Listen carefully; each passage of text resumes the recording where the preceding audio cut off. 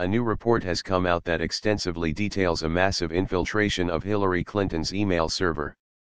The hackers acquired nearly all of her emails, a significant and devastating breach of national security. Now, we know who was behind the attack. Russia had nothing to do with it.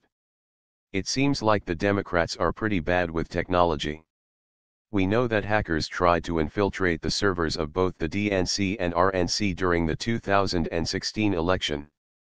We also know that hackers were able to make off with plenty of Democrat data but Republicans were unharmed. We also know that during the election, John Podesta Clinton's manager was hacked. Many of his emails were dumped online by WikiLeaks. America got to learn all about the real Hillary Clinton. It was pretty ugly. Ever since then, we've heard nothing but Russia, Russia, Russia. Democrats, still embarrassed by their loss to Trump, have accused Russia of the hacks. They've even gone as far as claiming Donald Trump was working with Russia to steal the election. There have been various statements to back their wild claims.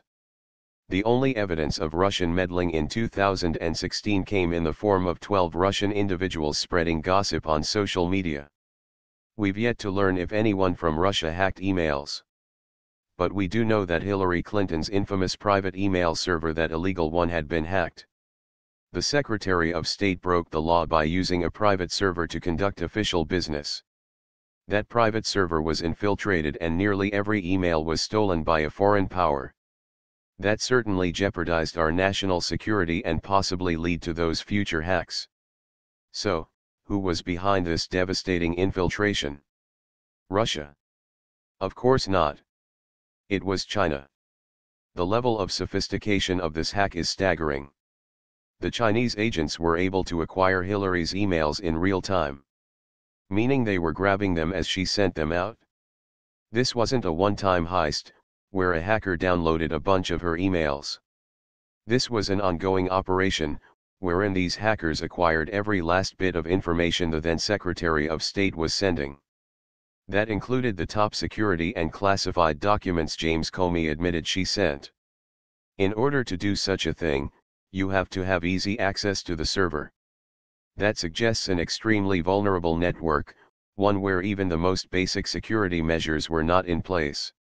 Your home antivirus software would have done a better job than whatever Hillary's people were doing. Hillary Clinton was reckless and irresponsible.